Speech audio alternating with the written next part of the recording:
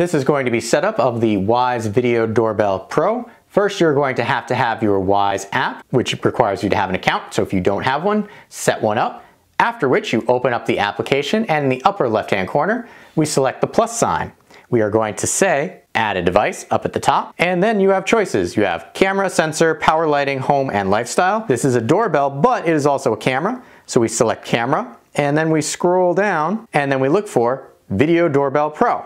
We select Video Doorbell Pro and it's letting us know here's what we're looking at. So what we have to do first is press and hold the power button for five seconds on the back of the Video Doorbell Pro. So here is our power button right here. One, two, three, four, five. Power on. So the directions have slightly changed because it said power on, that's flashing, but it did not give me a tone. But we're gonna hit next and see what happens. Giving you recommended placement from your Wi-Fi access point to the chime itself to the actual doorbell. We're gonna hit next. So we're gonna plug in the chime right now and on the chime it's is connected. the chime itself has a Wi-Fi indicator on the front of to connect. Wi-Fi indicator on the front. It said Bluetooth connected, so it's connecting to my phone and it said ready to connect. So we're gonna hit next. I don't think we have to reset because the status light is flashing.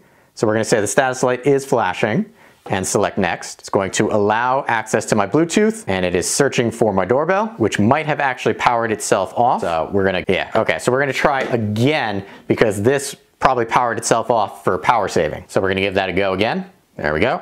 And try again. And I think it worked that time. Gonna select which one we want. I like the fact that they show five gigahertz as a possible choice. We're gonna put this on my IoT network, put our password in really quick, select connect. Start connecting. And all that audio you might be hearing is coming from the actual chime itself. So we're gonna see it's gonna connect to the Wyze Cloud, then add a device, and then finish setup. So we'll see how long that actually takes. Connection failed. We're gonna retype our password, Start connecting. give that a go again. Connection completed.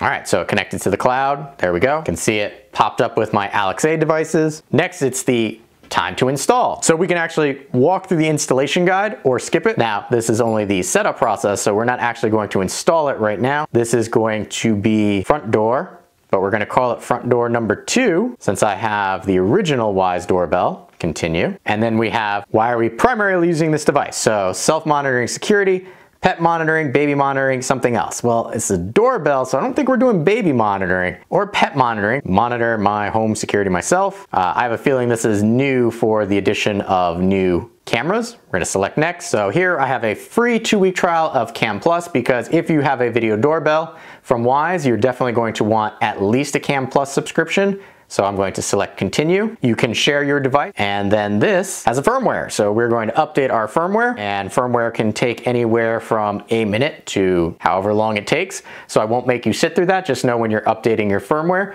you see the light ring right there around the actual button is going to flash letting you know that it is updating the firmware. Firmware has been fully upgraded. That will complete setup for the Wyze Video Doorbell Pro.